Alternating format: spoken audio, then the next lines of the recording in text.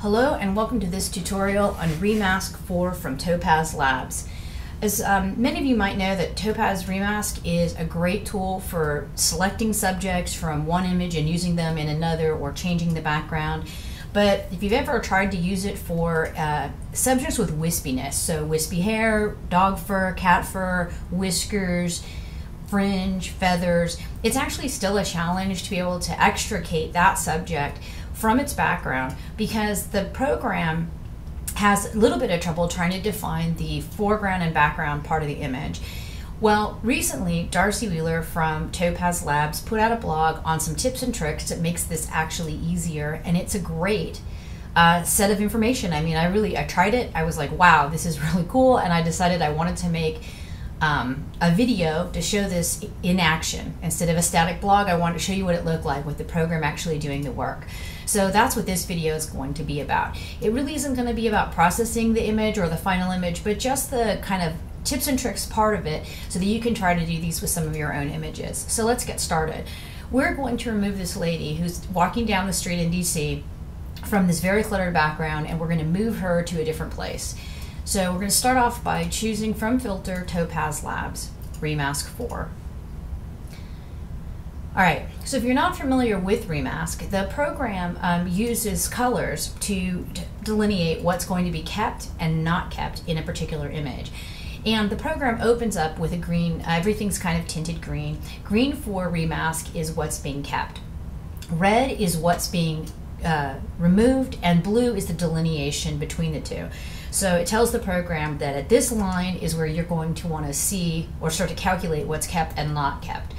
Well, normally what you would do with Remask is use your blue brush, the one you see here, and you would go around the image uh, outline for the areas that you want to keep. And you would just draw a line around that, and then you would have the program do the work and try to figure out what uh, to keep and not keep. In this case, for these this particular process for the wispy uh, edges, we're going to actually do something a little bit different. Instead of drawing this line, we're actually going to fill the background. So you'll see over here it says fills, and the, I've now chosen blue. Uh, it has the white edging boxed around it. I'm going to go ahead and fill the entire image with blue. So that's the first step that you're going to want to do. Then you're going to want to draw some broad strokes with green to tell the program what part of the image you're going to want to keep. Now this is not an outline, so you don't have to be perfect. You just want to kind of come through and give it some edges, some high level decisions about what's being kept. And I kind of like to be creative. For this is the area of my image that I want to keep. Now we're going to take the red brush and we're going to basically do the same thing, which is draw some lines around our Lady on the Street and tell the program what areas we actually want to get rid of. So that's it. No drawing, no outlining, no edging. Just some big broad strokes. We're going to hit compute mask. So the program goes through its process and determines this is what we're going to keep. And it does actually a pretty good job. You can definitely tell there's an outline of a woman with wispy hair here. So the first thing we're going to do is on color over here on the left hand margin, we're going to drag up the recovery slider. This helps the program figure out what's background and what's foreground. So you can see it's done a little bit better job of cleaning this up. Now with our red brush chosen, we're going to go ahead and work around the image and um, further define what is not being kept. I like to personally start on the mask image. I think it kind of shows me better what I want and what I don't want. And you'll see that what I'm doing here is not drawing brush strokes. I'm actually just tapping at the image and you'll see that the mask starts to sort of push down. So we're just gonna just doing a few taps here and there.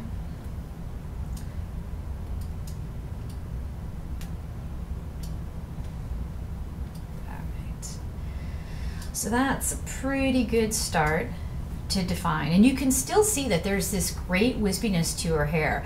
So now for the keep part, I'm actually, it's a little bit easier to actually do that when I'm looking at it. And for you can see here, before I go to the green brush, you can see that there's this little bit of red here in her hair. So I'm gonna make my uh, brush really small. I can increase the size of the image. And I just wanna tap on this area a little bit. And you can see that there's some gray behind her over her, uh, her left shoulder, our right image. I go ahead and just clean that up just a little bit. Again, these are just little taps. Okay, perfect. Look around here. Let me right about here. All right, so now we're gonna go ahead and grab our green brush. We're gonna do the same thing, only this time we're telling the program what areas we wanna keep. So again, just tapping along the edge. And you'll see that there's these little, you can see kind of transparency boxes. You wanna fill in the best you can because you don't want her hair to be transparent. So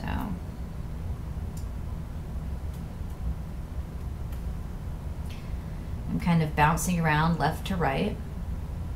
I'm going to hold down the space bar. We get a little grabby hand so we can drag our image up.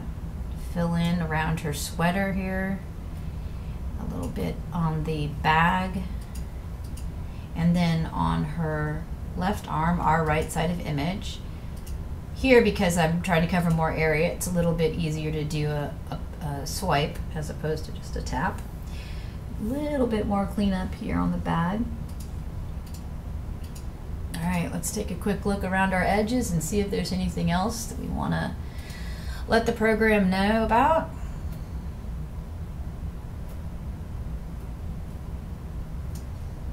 Make sure it's got all of her skin. All right.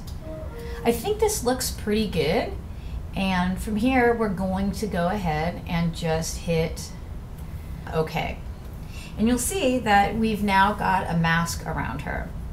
Now, the way to, and you see that on the right in the layers panel, that I've got two images, a background and a background copy, and that uh, Topaz Remask has created a mask. So let's open up our future background. So this is the image I want to use for my future background for her. You can see that there's already sort of a, um, a problem in terms of the perspective because I've only got half of a woman, right? I've got her upper torso and I can't use a background that goes all the way to the ground because then it's going to make it like where's her legs that's the question but i still think that this is the right background and usable so what we're going to do is pull it away from its embedded tab so I now have a uh, I can see her and the background together and I'm going to grab the background layer and I'm just going to drag and drop it into the image with the lady. And as you can see like right away it's covering that's okay because it's the top layer we're going to fix that in just a minute.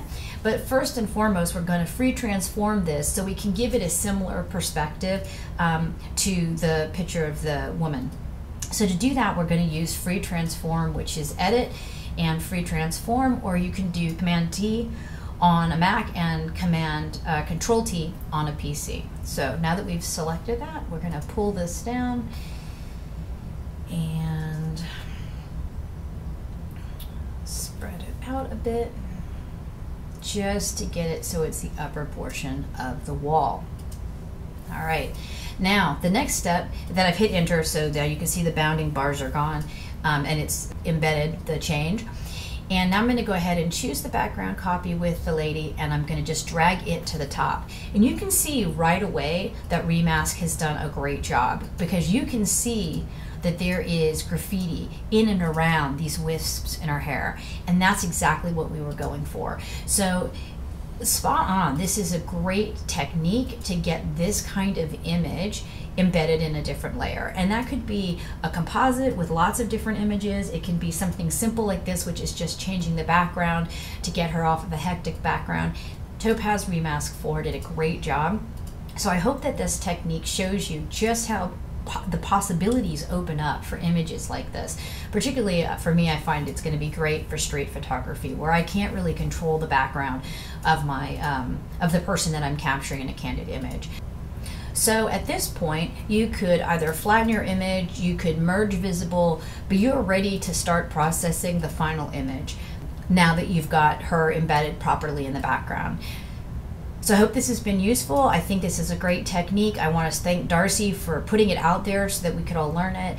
And thanks again for watching. Take care.